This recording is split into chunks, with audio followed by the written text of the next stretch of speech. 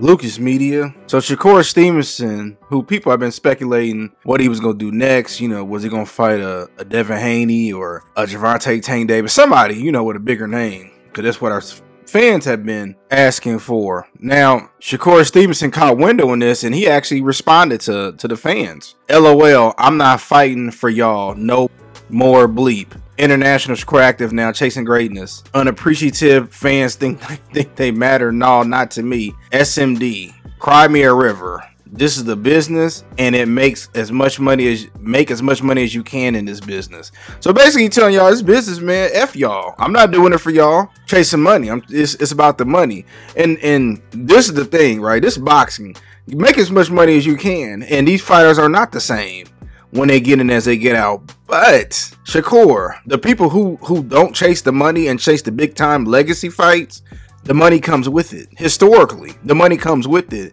This new uh thing between you don't want to fight nobody no more, you want to take the easiest fights. You can do that. You got every right to do that. But then don't be surprised when the fans don't support it. They don't support it. They're gonna make fun of you. They're gonna fall asleep and put it on their uh, their their channels and it go viral people are going to use the fire sticks or the streaming sites online. They are. They are. Why?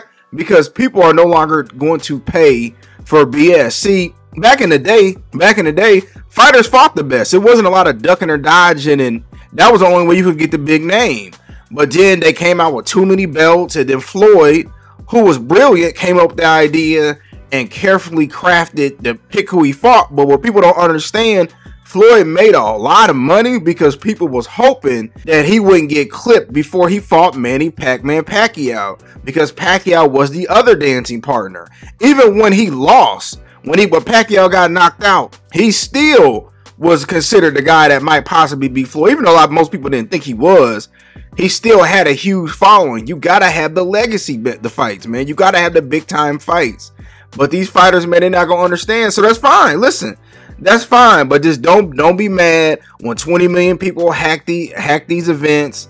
Uh, was it Rick Glaser? Rick Glaser had put 20 million people hack the Usyk and Anthony Joshua. Yeah, fans are fans are tired of it. They tired of it. Why would I pay eighty dollars to see some because it ain't uh, forty nine ninety nine no more. I gotta pay eighty four dollars usually to watch you fight some nobody. Even with Canelo, you know, you, you don't think people finna be well. He do got a fan base, but you don't think a lot of people gonna be using other things, getting how they live to watch the fights. You know, this ain't the 1990s where some people had it, some people didn't. know. everybody can. All you got to do is just have an internet connection now and watch fights for free. You know, yeah, you, the the link might freeze up. You click on another link, it'd be just brand new.